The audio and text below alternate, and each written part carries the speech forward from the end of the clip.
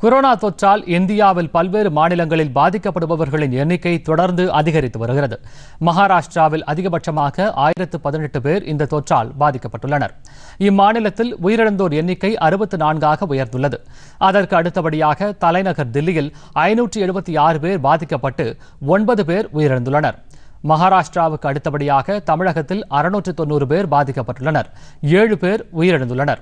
நாடு முழுவதும் இந்த தொற்றால் உயிரிழந்தோர் எண்ணிக்கை நூற்று நாற்பத்தி ஒன்பாக உயர்ந்துள்ளது. ஐயாயிரத்து நூற்று தொன்னூற்று நான்கு பேர் கொரோனா தொற்றால் பாதிக்கப்பட்டுள்ளனர். நானூற்று இரண்டு பேர் சிகிச்சை முடிந்து வீடு திரும்பியுள்ளனர். உத்தரப்பிரதேசத்தில் முன்னூற்றி இருபத்தி ஆறு தெலங்கானாவில் முன்னூற்றி அறுபத்தி நான்கு பேர் பாதிக்கப்பட்டுள்ளனர். தொடர்ந்து இந்த தொற்று பாதிப்பின் வேகம் அதிகரித்து வரும் சூழலில் தடுப்பு நடவடிக்கைகள் தீவிரப்படுத்தப்பட்டுள்ளன. வரும் பதினான்காம் தேதி வரை ஊரடங்கு கடைபிடிக்க உத்தரவிடப்பட்டுள்ள நிலையில் இந்த தொற்றால் பாதிப்படைந்தோர் எண்ணிக்கை மேலும் அதிகரிக்க வாய்ப்புள்ளது. இதற்கிடையே தமிழகத்தில் நேற்று மட்டும் அறுபத்தி ஒன்பது பேருக்கு கொரோனா நோய் தொற்று உறுதிப்படுத்தப்பட்டுள்ளதாக மாநில சுகாதாரத்துறை செயலாளர் பீலா ராஜேஷ் தெரிவித்துள்ளார். சென்னையில் செய்தியாளர்களிடம் பேசிய அவர் இதன் காரணமாக தமிழகத்தில் நோய் தொற்று பாதிக்கப்பட்டவர்களின் எண்ணிக்கை அறுநூற்று தொன்னூறாக உயர்ந்துள்ளது என்று கூறினார்.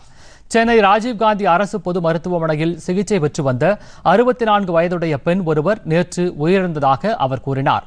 தமிழகம் முழுவதும் பதினைந்து லட்சம் வீடுகளில் ஐம்பத்து ஒன்பது லட்சம் மக்களிடம் கொரோனா தொற்று அறிகுறிகள் இருக்கிறதா என்ற ஆய்வு நடைபெற்றுள்ளதாகவும் அவர் தெரிவித்தார்.